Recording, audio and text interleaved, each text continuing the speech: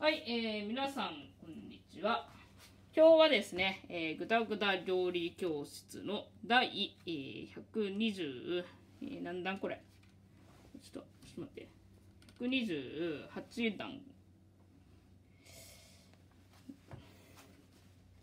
えー、夏の漬物ということでですね、えー、今からやっていきたいと思いますが、はい、ちょっとね、はい、私もナスの漬物自分でやるのは初挑戦ということなんですけれどもね、はい、うまくできるかな。っていう感じでね、じゃあちょっとせっかくなのでね、撮影しながらやってみようかなと思います。はい、このね、ちょっと大きいナスなんですけれども、はい、これちょっとね、はい、九州にいる、あのー、秘密の県民賞にも出たことのあるおじから送ってきたものなんですが、ちょっとこれを今日は使ってね、えー、ナスのお漬物、まあ、塩漬けですかね。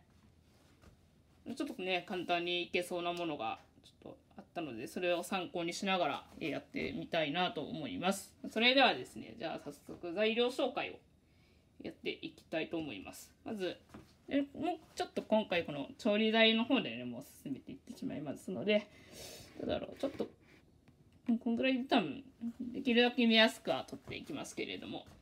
はい。でね、えー、ナスが今日はですね、えー、今日のナスの分量が、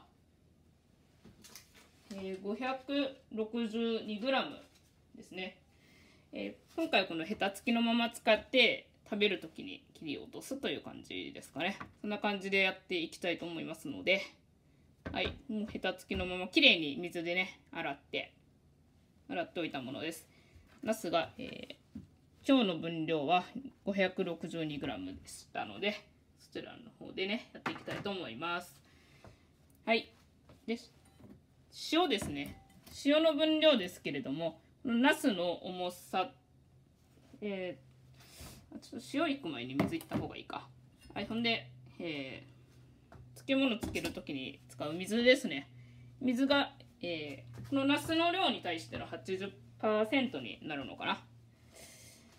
えー、ですので、えー、本日は 562g のナスを使うので、えー、だいたい 450ml のお水ですね。こちらを用意しておきます。はい。で、えー、この塩の分量ですけれどもね、塩の分量なんですが、ライトがちょっと見づらい。この辺からやってた方がいいか。はい、水の分量なんですけれども、あ、水ちゃうわ。塩の分量ですけれども、このナスの重さ、ナスの重量足す水の量を合わせたものの重さの3%ということになりますので、えー、本日はね、562g のナスと 450ml の水を、えー、使うので、合わせて、このナスとお水を合わせたら、1012g ですかね、になるので、その3%ということですので、今日は塩が 30g 用意しました。はい。で、えー、明板ですね。焼き明板。焼き明板。こんな感じで、ちょっとこんな感じのものが、えー、よいしょ。ね、こんな感じのものがね、スーパーとかに売ってますので、はい、そんなに高くないです。焼き明板ですね。これを 2g、えー、量が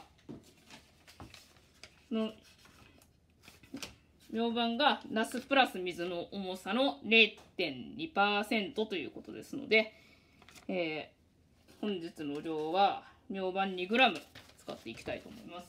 はい、ではですね、鼻むずむずすんだ。はい、早速やっていきましょう。まず、えー、このね、塩と明板ですね。これを、えー、混ぜておきます。はい、これね、フリフリして。な感じで、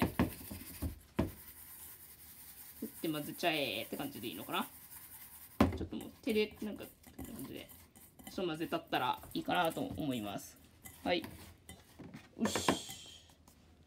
で、ここで、はい、ナス登場なんですがこ、ちらのね、えー、はい塩でちょっとねあの塩プラスみょうばんでちょっとねこすっていくそうなのでちょっとその通りにね、えー、ちょっとやってみようかなと思いますスリスリスリスリちょっとスリスリする感じですかね。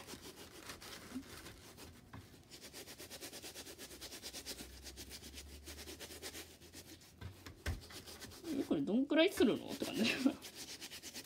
ちょっとこれちょっと私が参考にしたレシピではこのちょっと皮が傷ついてくるぐらいまで吸ってっていう風にね書いてあったんですがこんなんでいいのかな？はい。ちょっとあのだぐだ料理教室これ番号をつけてるけど私もねちょっと初挑戦なので。こんな感じで。ちょっとスリスリしたいんかな。吸って吸って吸って。もっとすらなあかんのかなこれ。もうちょっとすらなあかんのかな。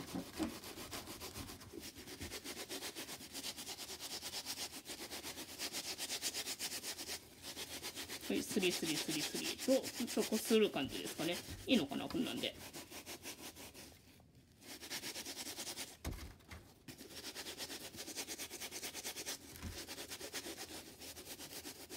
えどうだろう。うん。ちょっと皮がこすれてきた感がありますかね。いいのかなこんなんで。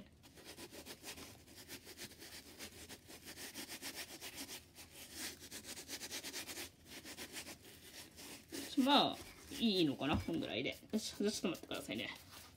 ちょっと待って。さすがにちょっと手洗おう。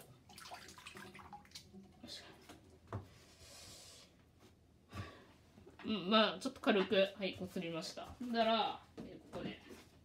なんでこれ？ちょっとあの漬物容器がないのでちょっとこのタッパーにあちょっとちょっとやべやべやべ。タッパーにちょっとタッーを使ってちょっとやってみようかなと思いますのでね。タッパーにナスを入るかなこれ。そしたら入るか。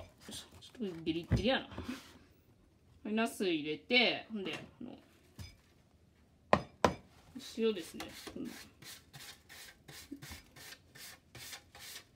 塩これ全部入れるのかな。残らず入れる感じかな。このこの吸って余った塩とかも。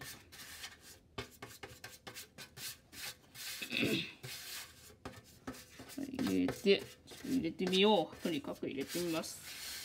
はい。よいしょ。いいかで、えー、こちらの、はい、余った塩ですね。これ全部ね。みょうばんと塩ですね。全部入れて。しまいましょう。はい。んでもって。えー、で、えー、お水ですね。